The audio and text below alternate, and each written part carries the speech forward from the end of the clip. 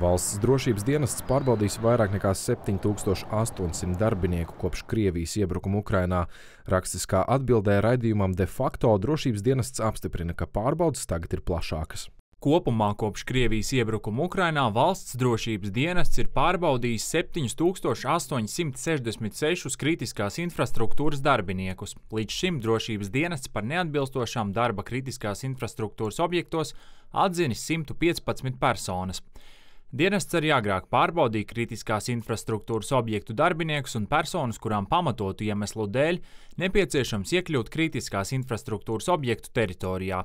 Vienlaikus kopš Krievijas iebrukuma Ukrainā šādu pārbaužu skaits ir ievērojami pieaudzis.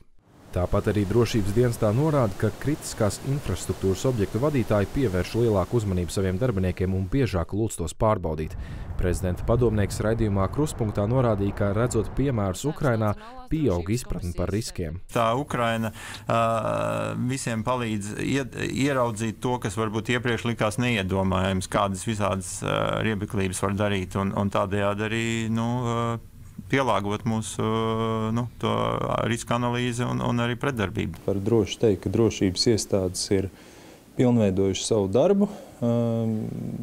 Aizvien vairāk mēs redzam arī dažādas krimināla procesus, kas tiek uzsākts pret prokremliskiem aktīvistiem. Bet vai šie darbinieki joprojām strādā šajos uzņēmumos? Atbildi rast nav viegli. Jautājām uzņēmumam Latvijas Energo. Atbildēja, ka sadarbība ar drošības iestādēm ir klasificēta informācija. Līdzīgas atbildes sniedz arī Latvijas dzelzceļš, GASO un Latvijas gāze. Lielākajā daļā uzņēmumu un valsts iestādēs, kuras uztur kritisko infrastruktūru, šo uzdevumu uztver profesionāli, sadarbojas un ņem vērā ieteikumus, saka Informācijas tehnoloģija drošības incidentu novēršanas institūcijā. Ir gan pāris izņēmumi. Manuprāt, arī tas ir labi, ka viņus nu, tagad pamana un baksta to skudru pūzni. Kā Protams, varbūt varētu tur uh, diskutēt, ka varbūt vajadzēja ātrāk un agrāk, bet uh, nav tā, ka tas nav darīts iepriekš. Certa norāda, ka uz vienas rokas pirkstiem ir saskaitām tie uzņēmumi, kuriem būtu jāveic būtiski uzlabojumi. Tie iemesli arī ir dažādi. Citreiz tas ir finansējums, citreiz tā ir vadības uh, nespēja atzīt, ka kiberdrošība ir, ir prioritāte.